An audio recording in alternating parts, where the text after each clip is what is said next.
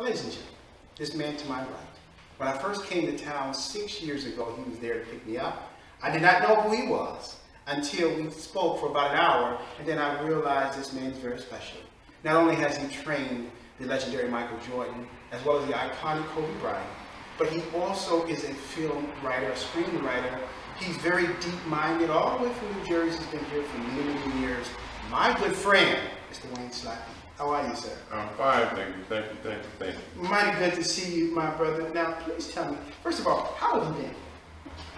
Well, the past month and a half, two months, been a little rough uh, with the loss of Kobe. Obviously, um, took a lot out of me and a lot of other people. But, uh, you know, with me being close to the family, particularly uh, Jelly Bean and Pam, and it's just it's rough. It's, to know their pain, to try to have a clue of their pain, it's, it's tough. But we're, you know, as, I, as I tell people, it's gone from the, the phase of being tsunamis on a regular basis to sort of being storms, and storms that are, anything could trigger it. So, you know, hopefully I can hold it together throughout this whole interview. We have so much to talk about. Now, um, first things first, you know, on the day of, I was sitting in church, and the first person when I saw it um, pop up on TMZ, I texted you. And I asked you, I said, Slap, is this true what I've seen? Now, when that came in, Slap, what was the first emotion you felt? I mean, first of all, that day I was going through every emotion possible. I went from being very sad, disappointed, to being, you know, com- completely confused, angry. I mean, it was just awful. When you called me, I, I don't know why I was numb, man. I, was, I think I told you I couldn't talk right now, or something like that. You said your phone was ringing off the hook. Oh, you didn't even begin to want to answer. No, I saw your name, so I picked that up. But yeah, it was it was weird, man. It's a weird day, and still to this day, it's like it didn't happen, but it happened.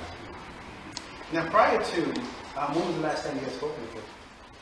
It's been a minute, you know. Um, I don't remember. People have asked me that question. I I don't want to remember those things because it makes me. I, I want to finish this interview. Right, right, right, which I understand. But you know, Slap, um, it, it- the one thing that's amazing about this gentleman is that he's, um, you know, you, you are a motivational speaker and you always are inspiring kids. I was privileged actually uh, to go to his Santa Monica gym and see him training two up and coming stars. You remember that, Slap? Yeah, while ago. Yeah, that was a beautiful thing because um, even the biggest stars um, like Michael Jordan um, and also Russell Westbrook, one person you train as well, they always come back to you. Know, why do they always come back to you, Slap? I don't know. I think I bring out the child in them that sometimes is not apparent to everyone else. I think I remind them of some things that made them who they are, and it's a blessing to be able to, to be that person. You know what I mean for them. You know, when I Russell or James Harden, I don't see the beard in James. I see little boy, a young man. I don't want to call them little boys.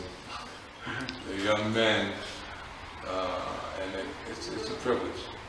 Now, now you, the one thing amazing about Slap is that, you know, you told me, you have a, there's a lot of stories we shared, but one story that's very interesting was that um, you were noticing Michael Jordan wasn't doing the same footwork that you taught him, and you kind of scolded him about that. Is that right? Well, is what happened. I didn't have to scold him. Fortunately, he was being interviewed. Um, I, I don't remember after which championship because he has 6 But they said, "What did you do to remember? What did you do to avoid those guys being able to defend you because they kind of know your moves and everything?" He said, "I had to remember to go back to my triple threat." which is what I taught him, you know, and I was blessed to be able to be at Five Star Basketball Camp and teach a number of athletes, you know, Uh, as well as myself and other coaches there. But the triple threat is when you hold the ball before you dribble it, instead of getting it like these kids do nowadays, they do all these tricks with the ball first, get exhausted, and then hopefully their defensive man makes a mistake, and then they luckily make the best. And you're triple threat, you're reading what your opponent is doing, and everything they try to do to you to defend you, you have accounted for that. And so he just went into that mode, and, and once he's on the loose, it's a wrap. It's a wrap. Wow. Well, and you taught him that. Yeah, but yes. It- it's- Teach a lot of people that. Yeah, he's very modest about that. But among many other moves you taught him, and it's great that you remembered that um, as well. Now, Slap, well, we've been talking um, as the last gentleman on the show, Mr. Tyler, were talking about a very su- uh, interesting subject in terms of uh, how ways that men can protect themselves from false allegations. Now, is that something that's pretty prevalent in the realm where you are? Whenever you're dealing with any professional athletes, particularly professional basketball players, with the amount of money that's being made, there are a lot of people coming at them constantly. Sometimes it's for business purposes, sometimes it's just take advantage of them. Because they think of them as only basketball players, not as men, not as intelligent human beings, but as basketball players. And they're more than that, all of them. So yes, it, it does happen. Females in particular, they have to be particularly careful because they'll walk up to them with their wife on their arm Oh, wow. and flirt. Oh, wow. You know, yeah, they'll, you know, they won't even care. They'll be aggressive. Don't let the, the All-Star games happen. They flood the city that the All-Star games are happening. Wow. Now, now um, the, the gentlemen you train, the ones that come into that big money, or even before they come into that big money, what kind of advice do you give? Well, I just try the, the best that I can to tell them to, you know, be careful what you do when you open your zipper, you know, and to try to, need women that you're going to deal with, to try your best to um, simply don't look at them as their best person as sexual beings first. Look at them as human beings and see what they have to bring to the table beside their bodies. But now, Slap, a lot of them, like you were mentioning, All-Star game, like which just passed last month in Chicago, they don't want to be looked upon as anything beyond sexual objects for that night. The female? Yes, correct. So how is a guy Some of those females, well, that's hard. I mean, that's really tough. I'll just tell you about one situation. It doesn't have to be an all-star game. I'll tell you about one situation. I was training a young man named Sean Kemp. And, uh, Jelly Bean and I actually. And he got a phone call one day in his hotel room. This woman called up and said, Hi, Sean. I called 10 hotels. I, no, I'm sorry. Hi, Sean. I heard you were in town. I called 10 hotels till I found you. so we had to take him out of that hotel. It was a Ritz Carlton in, in the marina. Put him in, in a hotel in Santa Monica on Ocean Boulevard. Not the fancy hotels, the other more boutique hotels that were nice. And put them in there under an assumed name. Wow, wow. Because I guess um, Sean would have probably would have jumped on that opportunity Well, knowing. Sean had a weakness, you know, which is very well known. I won't go into any further than that, Wow, but yeah, he had a weakness, and hopefully he's overcome that, you know, but it cost him a whole lot of money. So now, Slap, um, going on to your filming career. Now, there's a lot of things you love doing and you're very good at, including the basketball you all speak about. But tell us a little bit about some of the movies and scripts that you write.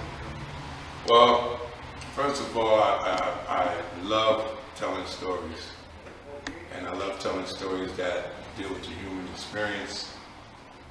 I don't, I'm not very good at comedy, so I write mostly drama. Well, You, you're not like a funny guy. You, have a, you, can, you can't do any stand-up stuff like that. Nah, those guys especially. Uh, Uh, no, but I, I try to tell stories that come out of some of my life experiences, sometimes out of things I've read and researched about uh, historical individuals in some cases. Uh, the one project I'm working on right now is a basketball piece that actually happens in my hometown of Newark, New Jersey. And it's an interesting love story. That's all I'll say about it. that's all I'm gonna say about it. Okay, I won't touch you beyond that. But um, that's something that's probably gonna be coming out this year. I hope we'll make it this year. Hopefully, we'll be ready, be prepared in 2021. Oh wow, wow, that's fascinating. But you know, um, Slap, being now, you consider yourself still a Jerseyan, or you consider yourself a Californian? Because you've been out here for what, 26 years now? Yes, sir. But uh, I'm I'm always going to be from Newark, New Jersey. I mean, just like you feel about Chicago, Right. Newark is very much the same. It helped to mold me into who I am. Helped to make me be able to identify, look through people, and pay attention to what's around me instead of walking around like a Kuda Matata. I don't do that very well. But you know, um, Slap, it's, it's really amazing though that you've been able to endure some really, really tough storms and stuff. You know, one thing after we come back from this commercial break, you don't know about him. We're going to talk about it in a minute. He has an affiliation with the sitcom Good Times. We'll talk about that right. Yep, indeed. And welcome back, ladies and gentlemen, to the Sherard Show. Having a wonderful time talking to my really good friend, Mr. Wayne Slappy. With wisdom, life lessons, and all of the things he has going on. Now, um, in my last segment, I was mentioning his affiliation with Good Times. Well, this man was actually Esther Rolle was his surrogate mother. Is that correct? That's correct. Now, you've known her for many years, and that was really our leading conversation when we first met six years ago. Now, how did she become your surrogate? I was working in theater at the time in New Jersey, and the producer, uh, a good friend of mine, Pamela Goodlove Greer, she asked me to be her host when she came to town. And so I ended up taking her out to eat, teaching her how to swim, a host of conversations, and little by little, you know, we just became close. And uh, my mother unfortunately passed away when I, my birth mother passed away when I was 14. And Esther kind of took her place when I needed that adult advice and everything. Uh, and it was just a wonderful affiliation. I mean, I, I mean, I stayed in the house when I first moved out here. You know, She's a wonderful, wonderful person. Now, what are some of the things you've learned from her over the years? Okay, the best lesson I could tell you is that her mother and father, when her father was dating her mother, and he asked her, excuse me, she asked him, if you want to marry me, you got to make sure all my kids are educated.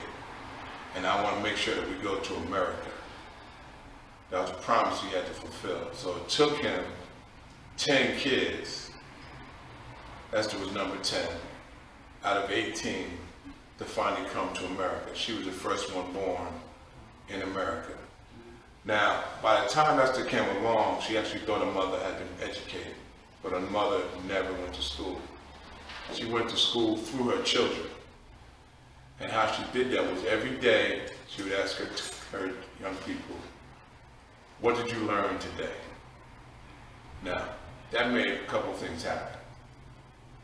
When you go to school, you go home going, uh-oh, I better be able to answer these questions, and I better know how to talk without mumbling and fumbling through this. Because if I don't say it clearly, she knows I don't know it. So they learned, and then she learned through them. Wow. Wow. Now, Slap, one thing that was very interesting you told me about her as well is that Norman Lear wanted to have her as a single mother. Oh, yeah. And how, what was her stance on that? She's like, no, no, no, I owe it to my father to make sure there's a dad on this show. Yeah.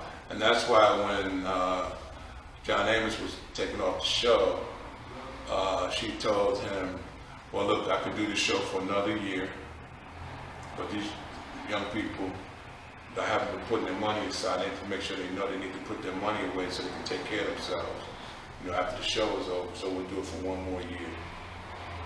She really was looking out for everybody. Oh, yeah. a big-hearted woman, and very much missed, as a matter of fact. And um, that was like one of the first things you spoke about when you uh, when we, we first met six years ago.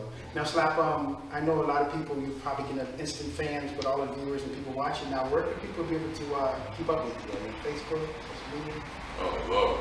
Now I'm on Facebook once in a while, so don't go there. but you can catch me on Instagram. It's my name on Instagram. It's just my name on Facebook as well. And uh, that's about it. You know, Slap, the thing is I want to really say about you that I'm really appreciative, and I want you all to get this, is that um, I'm very humbled and honored to have him on the show. I'm always thankful for anyone who stops by the Sherard Show, but uh, Slappy for, you know, coming out here in LA and just taking me under his wing, schooling me about the neighborhoods, schooling me about Oh, things yeah, to look yeah. out for and stuff, you know, and it was a, just such a different perspective, and it really was effective. Appreciate that. And then also, um, you know, just coming here, leaving my little family to make um, make it, and he was always here for me. Um, anything I needed, coming over his house, you know, chopping out, uh, chopping it up with him, and you know, just a lot of things I can talk about off camera. Just as a good, good man, good dude. I really appreciate Slap. Thank you so much, my Thanks for having me. Thanks for having me. This is, this is, this is, this man is as genuine as just peering out uh, for this interview. I'm Sherard. When we come back, we're going to have our latest celebrity information, gossip, ladies and gentlemen, from Disco. right after this.